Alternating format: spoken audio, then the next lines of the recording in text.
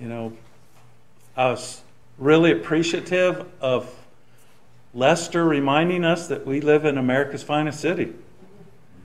Because most of the week, all I've seen is images of Afga- Afghanistan and hurricane approaching New Orleans, the COVID cases going up and deaths, and experiencing it in my own family. And just, it, it's overwhelming at times. You just feel like you're just swamped by negative stuff. And it's good for us to remember, you know, I've been complaining about inflation. It costs me twice as much to drive over here a week now than it used to.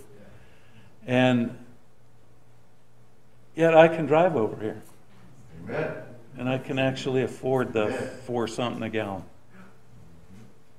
And so trying to keep focused on the positive things and not be dragged down by the negative things. Let's let's go to the Father in prayer. Father, we do thank you for our lives and how blessed we are, Father. We know that that we have it really good.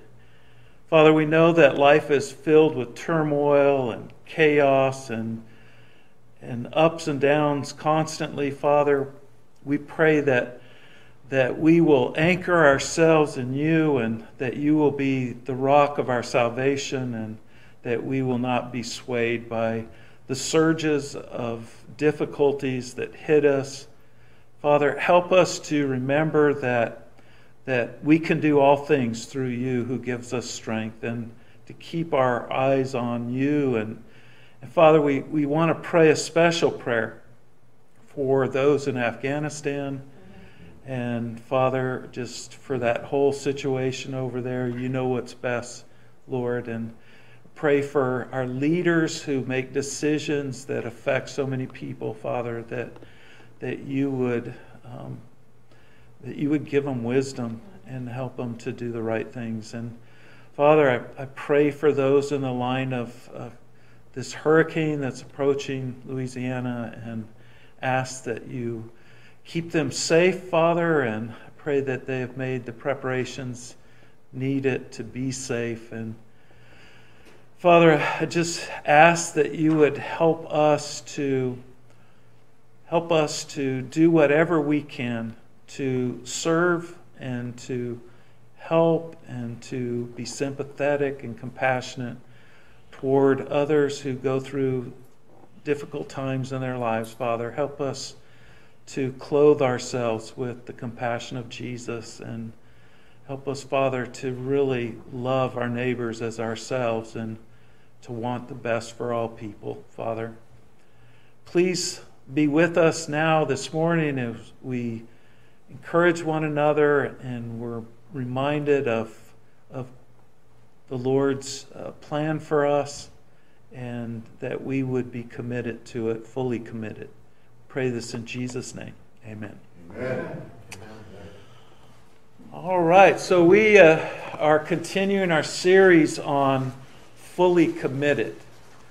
And I, I know, you know, when you look at the church, when you look at the book of Acts, the, the first book I ever studied after becoming a Christian was the book of Acts. And it, it shows you the beginning of the church. And this was the church that Jesus had planned and, and foretold that was, was going to be established and that you know there would be leaders that would be rocks you know upon this rock i will build my church and the gates of hades will not prevail against it and and we see that church born in Acts chapter 2 on the day of Pentecost. Peter, the apostle, gets up, preaches the gospel to this, this great, huge crowd that had come to Jerusalem for the Passover. And, and he, he preached the gospel of Jesus, the death, burial, and resurrection of Jesus. And 3,000 people that day were baptized. 3,000 people were moved by the message of the gospel and were baptized.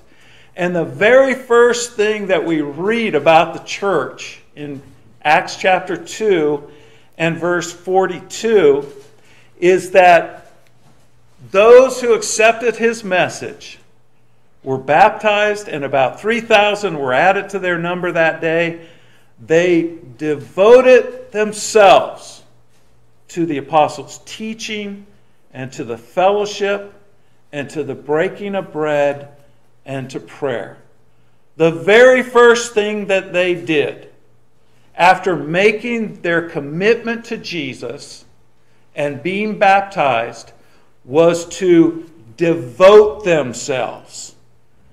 And I want us to just think about the meaning of this word for a second. The word devoted in the Bible is different than the word committed, okay? And it's important to understand the difference of the two. Making a commitment is, is just something you decide to do. Um, when we make a commitment in marriage, we, we say we're going to be faithful and, and so forth. When we make a commitment to Jesus, we say we're going to change. We're going to give our lives to Him and serve Him for the rest of our lives. And it's really about your word. Your word. I'm committing to this. And devotion is about the doing of it, it's about the following through with that commitment. Yeah, you committed, but as you know, people don't always keep their commitments, right? And so this idea of being devoted comes from the Greek word proskartereo. Proskartereo. Like that? Eddie's smiling. One more time, Jim. Proskartereo. But it literally means to be earnest towards, to be constantly diligent in, to adhere to closely. And, and it really describes not just your words, but your passion, your heart. They devoted themselves. They didn't just commit to this, they devoted themselves. And this is a really important point. These Christians were fully committed in their devotion to the Lord's church. And that's what we read in Acts chapter 2, 41 through 47. So, what does this devotion look like? Well, it affected every aspect of their lives. They were devoted to Jesus and his church in every part of their lives. It wasn't just something they did on Sundays. It wasn't just some, you know, part of their life that they devoted to Jesus, like, like getting up and having a quiet time in the morning and praying and reading your Bible. It was everything. It was their whole life. Right. It was their thoughts. They were constantly taking their thoughts captive. It was their priorities. Everything, everything worked around the Lord and His church. It was their time. It was their energy, their money, their relationships, their work, their leisure. Every aspect of their life was devoted to Jesus Christ and his church. And the question is are you devoted? I know you're committed, you're here this morning, but are you devoted to the Lord's church?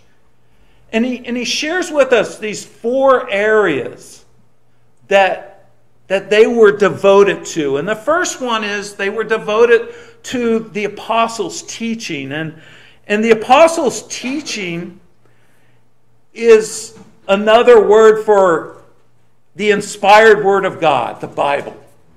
The apostles' teaching is the inspired words that the Holy Spirit led the apostles to teach these Christians. It was the Word of God. That's what the apostles' teaching was. And these people were devoted to it. They were devoted, first of all, just to learning God's word. They couldn't get enough of it, in fact. When you, when you read some of these passages in uh, Acts chapter 2, it says in verse 46 Every day they continued to meet together in the temple courts. They broke bread and, and in their homes and so forth. In chapter 5, in verse 42, it says, Every day they were learning God's Word. And, you know, it makes me think about what Jesus said in Matthew 5 6 when he said, Blessed are those who hunger and thirst for righteousness. They wanted more of God's Word, they wanted to learn it. They wanted to hear everything about it. They, they lived on every word that proceeded from the mouth of God. In, in 1 Peter chapter 2 and verse 2, Peter described it, describes it like this. He uses this illustration. He says, like newborn babies crave pure spiritual milk, so that by it you may grow up in your salvation. I like that illustration because you know that a newborn baby is insatiable. When it wants milk, it wants milk, period. It's not going to stop crying until it gets milk, right? Because it's just craving that milk. And the picture Peter uses here is that's how we should be for God's word, that we just crave every word of God. We want to hear what God has to say about every aspect of my life. I want his wisdom. I want his guidance. I want his strength. I want his forgiveness. I want everything that he offers, his grace. They wanted to learn, and they were devoted to it. Every day they would go down to the park, to not the park, the temple courts. That's kind of how I picture it. You know, this big grassy area, and they're all sitting around, and the apostles are teaching them. Every day, not just Sunday. And, and not just for a couple hours. I picture them being there all day long, right? I know some of Paul's sermons were, were super long. They went in, you know, midnight and so forth till people were falling out of windows. They wanted this. They wanted it bad. And they were serious learners. They weren't there just you know, for the crowd or to, you know, hang out with everybody or, or even to, you know, because they were a little bit curious. It says in Acts 17 and verse 11, now the Berean Jews were more noble character than those in Thessalonica, for they received the message with great eagerness and examined the scriptures every day to see if what Paul said was true. I mean, that's serious. That, that's not taken teaching lightly. First of all, they, they want to hear it, and then they want to sift through it, and they want to make sure that every word, you know, something that, that a lot of preachers say, I know I've said it many times don't take my word for it, Google it. No, that's what Lester says. Study it for yourself. You know, when, when I say something that, that maybe sound convicting to you or something and you're, you're uneasy with it, you should go home and study it. These new Christians who had committed their lives to Jesus were now devoting themselves to the apostles' teaching. They were learning the word because learning the word is a very serious thing. It shouldn't be taken lightly. 2 Timothy 3:16 and 17 says that all scripture is God breathed and is useful for teaching, rebuking, correcting, and training in righteousness so that the servant of God may be thoroughly equipped for every good work. It's absolutely vital to our spiritual lives to learn the Word of God. They were devoted not just to learning the Word of God Somebody needs to mute themselves. They were not only devoted to learning the Word of God, they were devoted to practicing the Word of God. And this is something else that I, have said many times from the pulpit. You can learn the whole Bible. You can come here every Sunday and listen to thousands of sermons. But if you don't put that into practice, you're wasting your time. There, there's, it's just a waste of time. You have to put it into practice. And these early Christians immediately began applying these things that they learned from the apostles. They began worshiping together, they began serving one another. And, and you see that in the, the next few verses. They began helping the needy and, and giving their money toward helping others. And most importantly, they began preaching the gospel to all creation. And really, that's what the whole book of Acts is about. Yeah. The book of Acts is a historical account of the Great Commission being lived out. That's what it is. And, and I, I'd just like to bring it to your attention. You know, Jesus said that we were, he told the apostles, go make disciples and baptize them in the name of the Father, Son, and the Holy Spirit, and teach them to obey everything I have commanded you. Well, what did he just command them? Go make disciples. And so that's what they did. They, they taught these new followers to go and make disciples. And then when those disciples made disciples, they taught their disciples to go and make disciples. And that's, that's why you're here today. Because people took that command seriously in their lives. And, and these early Christians, you, you, you see that. In Acts chapter 2 and verse 41, after Peter preached that sermon, 3,000 people were baptized. In Acts chapter 4, in verse 4, it says, But many who heard the message believed, so the number of men who believed grew to about 5,000. That's just the men.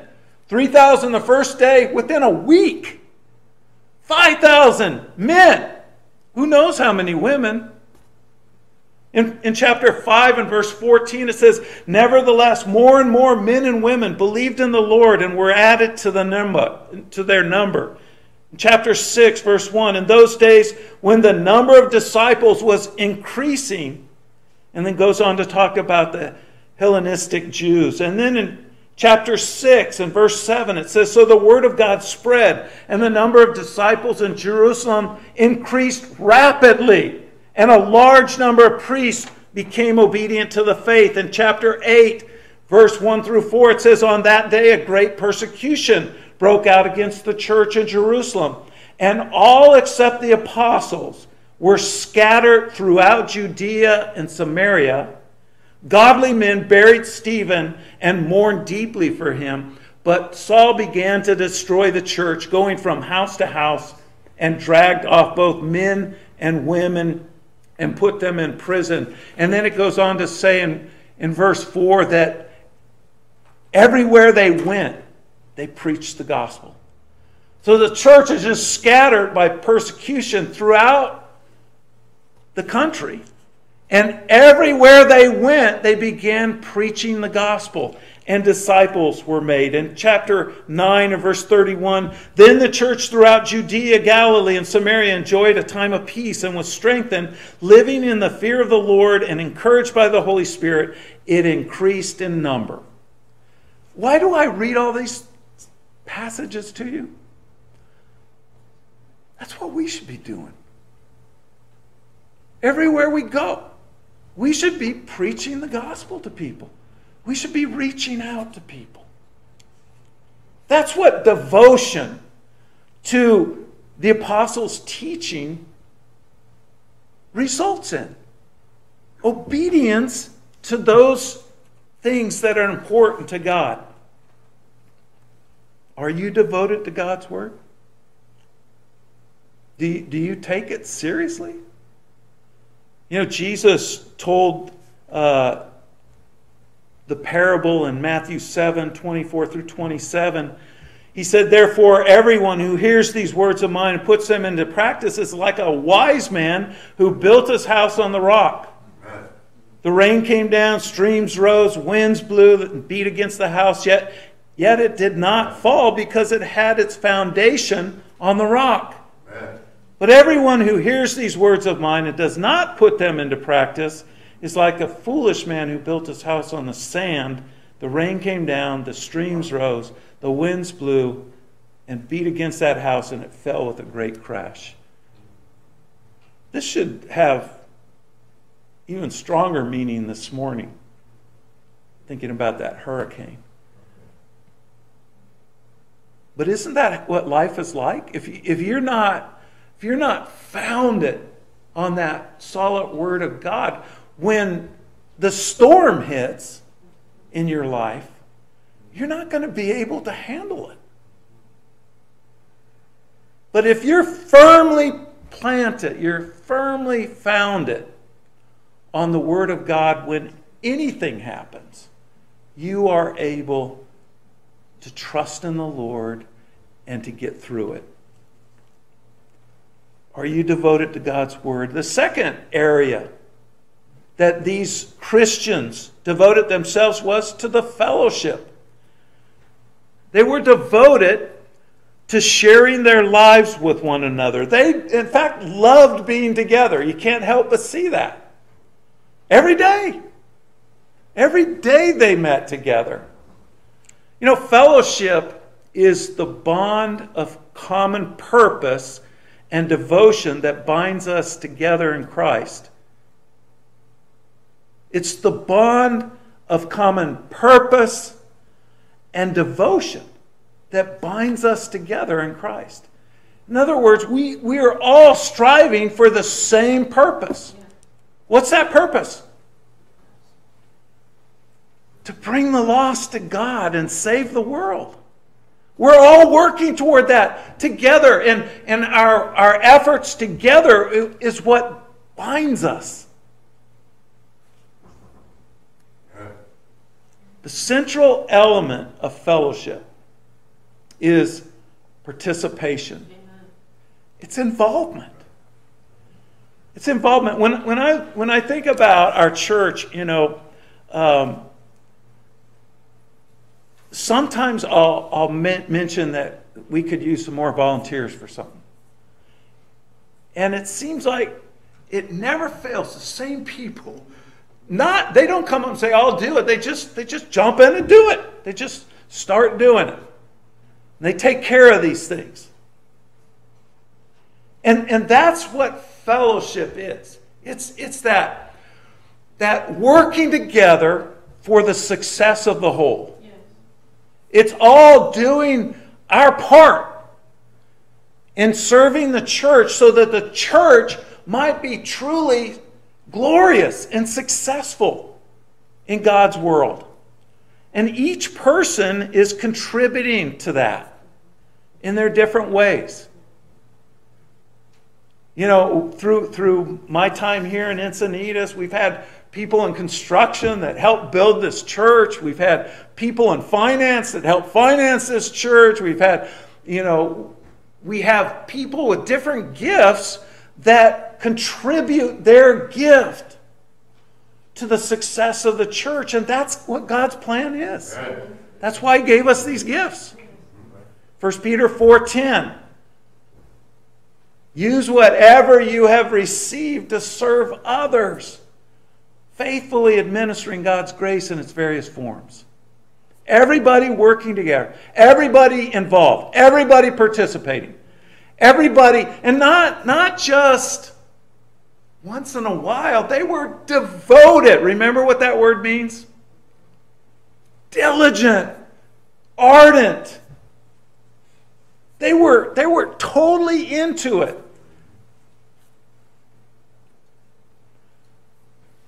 They were devoted to caring for one another. This is a part of fellowship, too. One of the first things you see is how they immediately began selling their possessions. It didn't matter what it was going to cost them in order to care for their brothers and sisters. They were going to, they were going to make it happen, one way or another. And so many of them sold their possessions Some of them sold their lands and their houses so that they could lay the money at the apostles' feet and it could be distributed to everyone who had a need. And in, in chapter 5, it says, you know, there were no needy among them anymore. Because from time to time, someone would go out and sell something and lay it at the apostles' feet, and, and all their needs were met. That's what fellowship is. It's, it's that common purpose and devotion to the Lord and his, and his plan for us. They took care of widows and orphans. You know, in, in Acts chapter 6, there, there rose this problem in the church. By now, there's thousands, thousands of Christians in Jerusalem. And one of the things that was happening was the, the Hellenistic Jews were being overlooked by the distrib- distribution of food. They, they would provide meals for the widows. And, and so they went to the apostles and the, they told the apostles, and the apostles said, Listen, choose six from among you who are filled with the Holy Spirit and wisdom, and we'll turn this task over to them so that we can give ourselves to, to prayer and ministry of the word. Not that they weren't willing to roll up their sleeves and go serve those widows themselves, but they wanted everybody to participate, everybody to be involved in this. And so they immediately chose these men, what we call deacons today, servants. That's what the word means. Servants who were filled with the Holy Spirit. In other words, they were willing and ready, and they were spiritual people. I, I, I like that qualification, filled with the Holy Spirit, because you don't want to pick the wrong person to, you know, take care of other people. Because you know what happens? They, they might say something they shouldn't say or express some you know, disgust or something that they don't like about that person and, and cause terrible damage in the church. So these were people who were devoted. These were people who were who were giving them all to that. And you know, we're commanded in James 1 in verse 27 to do the same, to take care of widows and orphans in their distress. And I think about how that we we have this Orphan Sunday, and it's just around the corner, folks. Once a year. And we, we have been so generous in doing that. And, and you can go look at some of the works that we've been involved in on the wall over here. But that's God's plan. That's what He wants us to do, to, to be involved in taking care of our brothers and sisters and, and those in need. And so, again, I, are you devoted to the fellowship of the church? Are you, are you devoted to sharing in the, the common purpose of the church here in Encinitas? Are, are you devoted to, to caring for one another? And, and I know that so many of you are, that, that you look out for each other and care for each other. The third area that they were devoted to is breaking of bread. And this, this phrase, breaking of bread, really has two meanings in the New Testament. And the, the first one, it has to do with the Lord's Supper. That Jesus, when he was having the Passover feast, when he was having a meal with the, the disciples, the night before he was betrayed, he took some bread and he broke it and he gave thanks and he passed it around and he said, This is my body, which is given for you. And he was, he was letting them know that I'm about to go to the cross and I'm about to die this horrible death, and it's all for you.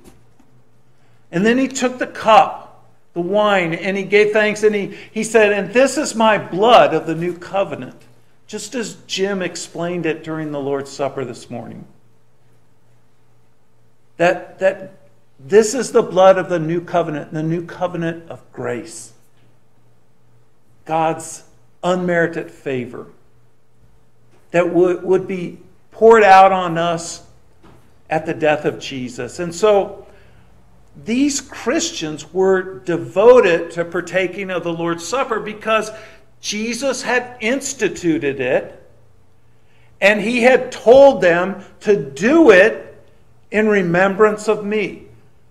This was something that, that they did regularly, every week, in fact, every Sunday. We know that they took time out when they gathered together to partake of the Lord's Supper and to remember the death, burial, and resurrection of Jesus. And in fact, in, in Acts chapter 20 and verse 7, Paul was visiting another church. It says, On the first day of the week, they came together to break bread. And, and just to indicate that this had become the tradition, this had become what the, what the Lord's church does. They meet together for the Lord's Supper. And these early Christians were devoted to that. They wouldn't miss it.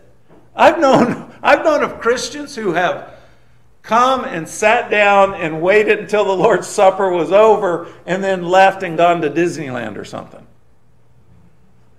But that tells you something. That tells you something, doesn't it? That they're devoted to that. They know that this is the Lord's will and they have given themselves to do that. This was a sober part of their worship. And, and it's, it should be today too. You know, Paul wrote to the church in Corinth in chapter 11, and he, he really admonished them for taking the Lord's Supper lightly.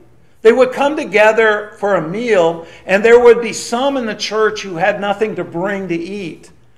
And the ones who had food would eat all their food and would not share. And then they would take a moment to have the Lord's Supper.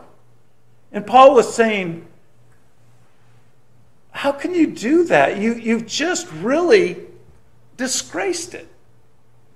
Because the Lord's Supper is what gets us to that place where we remember our service to Jesus and his church and to the world. In fact, Paul would go on to say, let each one examine himself. Let him take a moment and see if his heart and mind is in the right place before he partakes of the Lord's Supper. These people were serious about this, they were devoted to it. The other way that breaking of bread is used in the New Testament is just common meals. And, you know, when you think about it, after being taught God's word and fellowship at the temple courts, worshiping the Lord, they would go to each other's homes and eat a meal together. You read that in Acts chapter 2 and verse 46. Every day they continued to meet together in the temple courts. They broke bread in their homes and ate together with glad and sincere hearts. This was a common practice. After worship, they go home with one another and have meals together. And, and you know, this this was something that you saw Jesus doing all the time. When you read through the Gospels, you'll find him at the table a lot. I mean, he, he was eating at people's houses all the time, wasn't he? And you know why? Because it's really at those intimate moments that we really learn about one another. We really get to know one another. Like the time that he ate at Mary and Martha's house, remember that? And Martha was in the kitchen, and man, she was working up a storm. And, and Mary, she was out there sitting at the feet of Jesus. And she finally got so upset, she came in and she told Jesus, You going to let her just sit there? Or you going to tell her to come help me? Martha, Martha. there are a lot of things that are important. Mary's chosen the one that's most important. But when we sit down and eat together, and this is something I so miss about our potlucks. Oh, we, get to know each other. We, I mean, I, I always try to sit with a different person, and, and if you've ever sat with me during a potluck, you know I ask a million questions. Where'd you grow up? you know, where'd you go to school? Have you always been a member of the Church of Christ? Oh, oh, I'll, I'll ask you all kinds of off the wall questions. Just all I want to do is I want to get to know you. I want, I want to really know you, not, not just shake your hand Sunday morning and say hi and how, how's your week been? And I mean, really get to know you. How, how are your kids?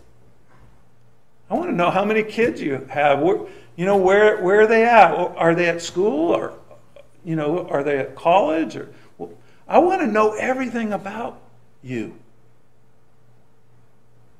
Genuinely. I want to be your friend.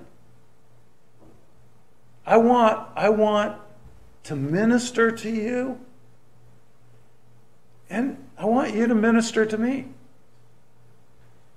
And so, this whole idea of having meals together is so important in church, in, a church, in, in being devoted to fellowship and breaking of bread. Are you devoted to the breaking of bread together? More than just the Lord's Supper on Sunday mornings? I mean, I, I look around and I've had dinner at many of your houses. And it was always good. I don't want to say who's the best cook. But some of your cooking I've experienced more than just once. but really, I've, I've had dinner at your homes and I feel like I'm closer to you because of that. And that's the whole plan of God is that we be a family, that we be a, a community that really cares about each other. And, and the Lord's Supper reminds us of that. It reminds us that, that Jesus loved us and was family to us, and that we should be that to one another.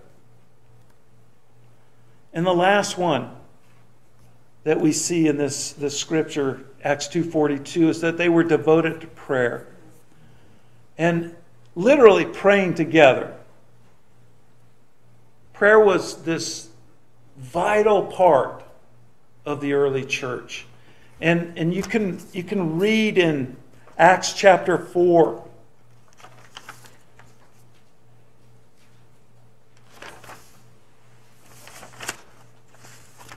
You can read there. I don't have it with me. But Acts chapter 4, well, actually, I do. Let me read it to you. Acts chapter 4, verse 23. And you know, it's not 23. It's Acts chapter 4. Hang on just. Sorry about that. It is 23. Acts 4:23. On their release, Peter and John went back to their own people and reported all the chief priests and elders had said to them. When they heard this, they raised their voices together in prayer to God. Now, this was right after Peter and John were released from prison for preaching the gospel around Jerusalem. And they had been warned don't you do this anymore, or, or there's going to be a price to be paid. And so the first thing they did when they got out of jail is went to the church who actually had been meeting together praying. Sovereign Lord, they said, you, you made the heaven and the earth and the sea and everything in them. You spoke by your Holy Spirit through the mouth of your servant, our father David. Why do the nations rage and the peoples plot in vain? The kings of the earth take their stand, and the rulers gather together against the Lord and against his anointed one. We studied that psalm, by the way. Indeed, Herod and Pontius Pilate met together with the Gentiles and the people of Israel in this city to conspire against your holy servant Jesus, whom you anointed. They did what your power and will had decided beforehand should happen. Now, Lord, consider their threats and enable your servants to speak your word with great boldness. Stretch out your hand to heal and perform miraculous signs and wonders through the name of your holy servant Jesus. After they prayed, the place where they were meeting was shaken, and they were all filled with the Holy Spirit and spoke the word of God boldly. Interesting, they didn't pray, God, keep us safe. God, don't let us have to go back to prison again. No, they said, just give us the boldness to get right back out there and do what you commanded us to do. They prayed about everything. They prayed about their families. They, they prayed prayers of thanksgiving. They, they prayed for everything. And that was because they were taught to be devoted to prayer. To pray about everything, Ephesians 6, verse 18, and, and to be devoted to it in Colossians 4 and verse 2. And they were devoted especially to praying for the church. And you, you see this in Paul's writings a lot. The church was actually birthed in prayer. You remember Jesus in John chapter 17, what we call the high priestly prayer? Jesus prayed for the church that they would be one and that they would, they would be successful. And then in chapter 1 of Acts, verse 14, we see the disciples and the, the, the leaders of the church gathered together praying, waiting for the Holy Spirit to come upon them to begin the church. And then in chapter 6, we see them praying about choosing the right leaders to serve the widows in their congregation. And, and on and on it goes. They're praying about everything for the church. And it should be our constant prayer as well. Are you praying for our church? Because look, it's not, it's not well right now. We're still reeling from this pandemic. And we should be devoted to praying for our church that we can get our members to come back and to worship the Lord together and to participate and be devoted to the fellowship and to, to be all those things that we once were.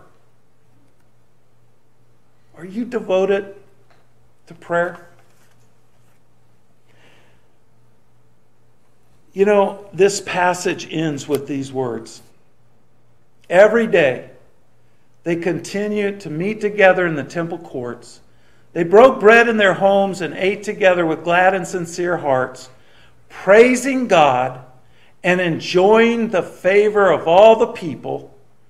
And the Lord added to their number daily those who were being saved.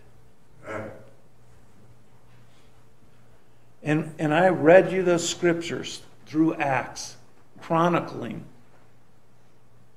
the growth of the church in just those first few months. And let me tell you something. If we were as devoted to the Lord's church as they were, we would be adding to the Lord's church every day, too. And this is really a call to check ourselves. Yeah, we, we made a commitment to Jesus, but are we devoted to doing His will? Because He's called us to do these things. This, this isn't just something I made up. I, I encourage you, go back and read the book of Acts and look at how those Christians lived, because that's how we should be living today. So I, I just want to encourage you this morning. Be devoted Don't just be committed, be devoted, be zealous. You know, Paul wrote in Romans 12, verse 11, to never be lacking in zeal, but keep your spiritual fervor, serving the Lord. Fan that flame. Get it going again. Get that fire burning within again where, where you really want to do the Lord's will.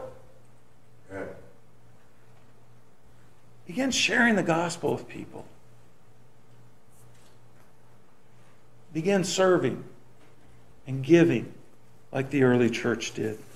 We're going to sing this song in closing.